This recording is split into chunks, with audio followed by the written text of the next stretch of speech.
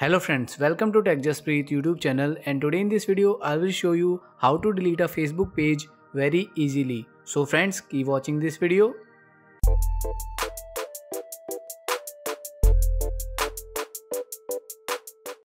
Friends first of all log into your Facebook account.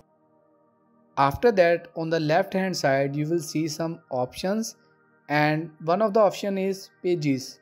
Click on it now you will able to see a list of your created pages here. Now select the page you want to delete. For example, I am going to select this page called knowledge free. On the left hand side of this page you will see manage page options. Scroll down until you see settings option. Click on it.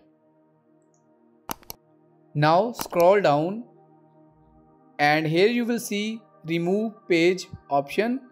Click on delete your page option.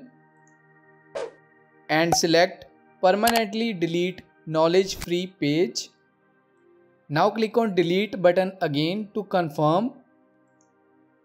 And here you can see page deleted. So friends now the page has been deleted permanently from my facebook account.